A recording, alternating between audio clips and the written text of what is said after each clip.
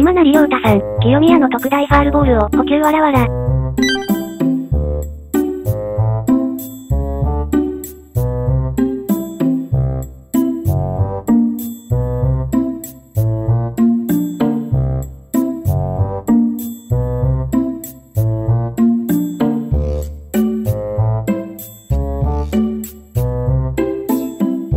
草。すごすぎて草。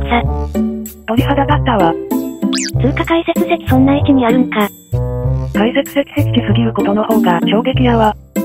放送席ここにした甲斐があったな。いや、なぜキャッチャー後方に放送席置かないのか。普通にあるで、ガオラはライトスタンドに専用のブースあんねん。グローブ持ってきてるの草。実況ウキウキやん、楽しそう。これ普通に今なり取らんかったら機材破壊されてたやろ。今後10年ないだろうレベルだな。見たら地味にグラスラ未遂で草。